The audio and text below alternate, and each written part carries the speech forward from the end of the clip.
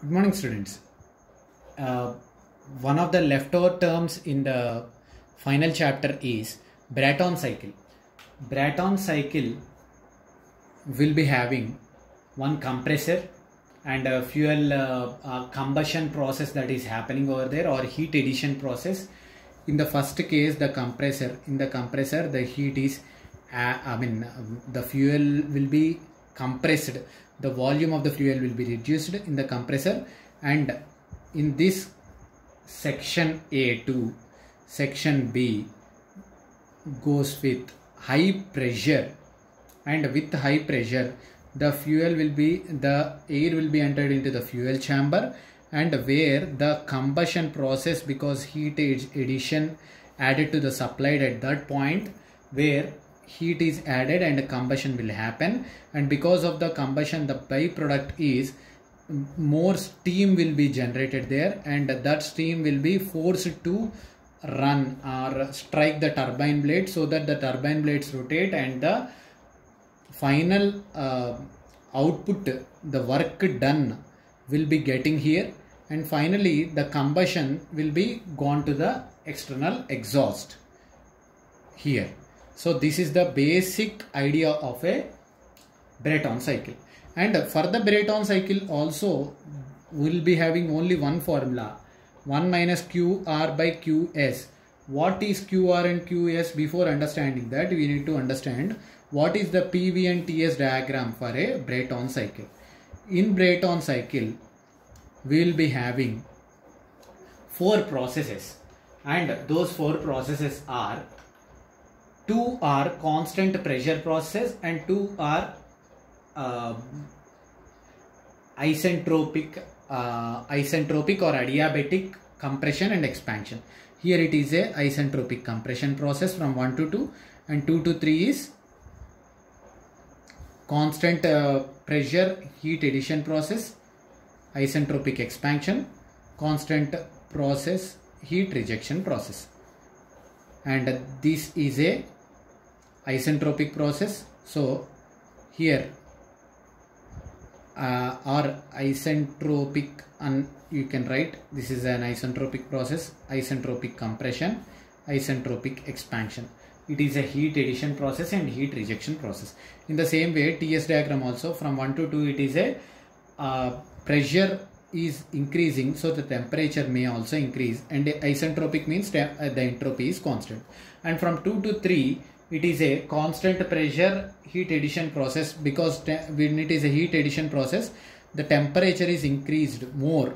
So temperature is shooted up. And by this the temperature is increasing and entropy is also increasing because disorderness will be increased because of the combustion that is process happening over there. And 3 to 4 process is isentropic expansion where the entropy is constant. And 4 to 1 process is adiabatic heat rejection process that is happening. This is a heat rejection process and this is a heat supplied process.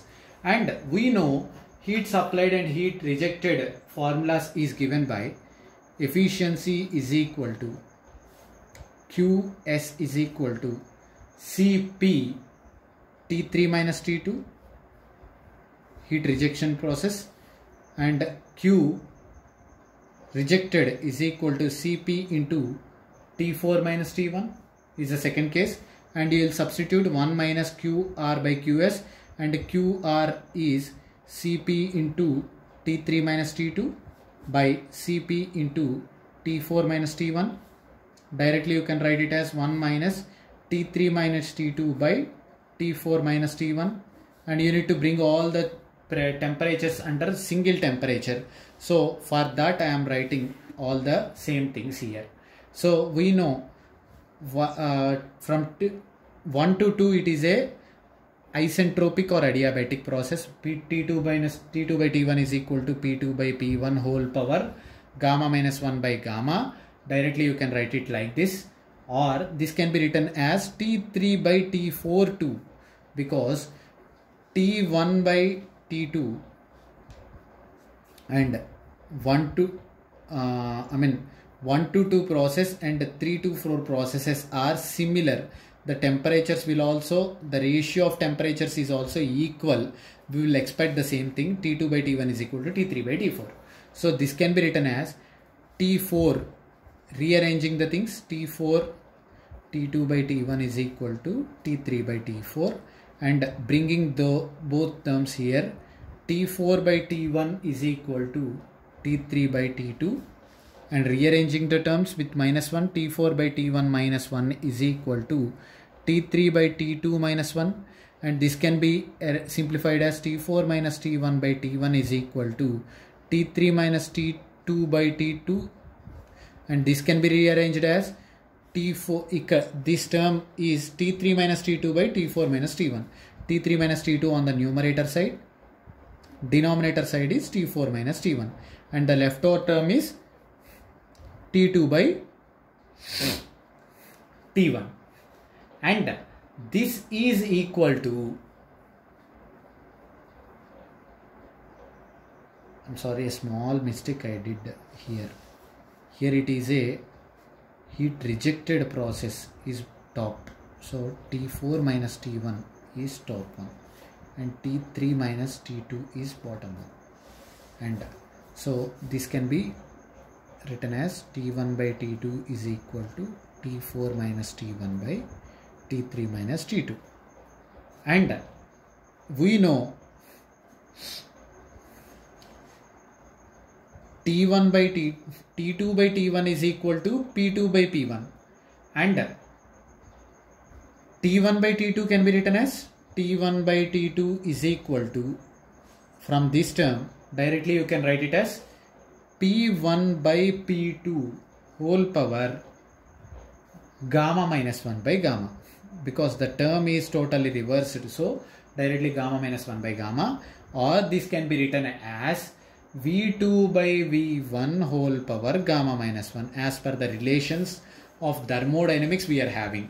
So directly you can substitute this term here 1 minus T4 by T4 minus T1 by T3 minus T2 is T1 minus T2. T1 minus T2 you can directly substitute it as V2 by V1 whole power gamma minus 1. So we, we know V1 by V2 is equal to R compression ratio. This can be written as 1 by R V2 by V1 because gamma minus 1 and this can be written as efficiency is equal to 1 minus 1 by R power gamma minus 1 is the derivation or efficiency of efficiency of uh, Brayton cycle. Thank you.